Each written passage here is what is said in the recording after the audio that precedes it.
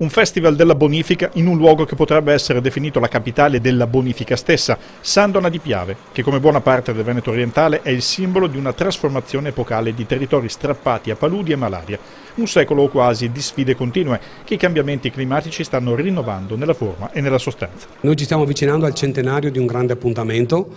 che è quello che si è celebrato proprio in questa terra nel 1922, un congresso che nasce come un, una semplice riunione di tecnici, si è trasformato in un congresso nazionale dove le più importanti menti sia della politica di allora ma anche della, de, del mondo accademico si sono confrontati per ridisegnare un modello di sviluppo di un territorio e da lì è nata la parola chiave che oggi ancora ci accompagna che è la bonifica integrale. Terre evolute è il gioco di parole fra l'evoluzione dei territori e quanto siano state volute queste terre. L'opera dell'uomo attraverso la bonifica ha modificato spazi per l'agricoltura e per l'urbanizzazione dove prima era impensabile, creando allora come oggi importanti opportunità occupazionali. La bonifica è sicuramente un um, settore in sviluppo dal punto di vista appunto anche eh, occupazionale. Noi occupiamo 1300 persone in pianta stabile e poi abbiamo degli eventizi stagionali nei momenti di punta, quindi raggiungiamo anche i 1500-1600 persone, quindi è una cosa importantissima.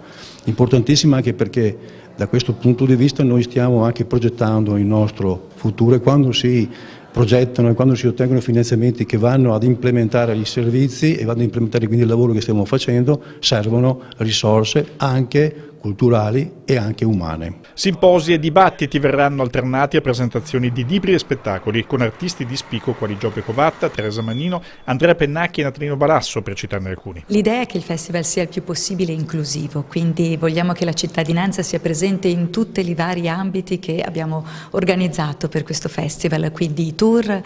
quindi le mostre, il, gli spettacoli serali i simposi scientifici che sono adesso in questo momento in corso e gli, le, gli incontri con gli autori dei vari volumi che presenteremo in questo, in questo festival e comunque in tutte le attività che sono moltissime e ormai faccio davvero fatica a ricordarle che ci accompagneranno in questi quattro giorni dal 16 al 19 maggio.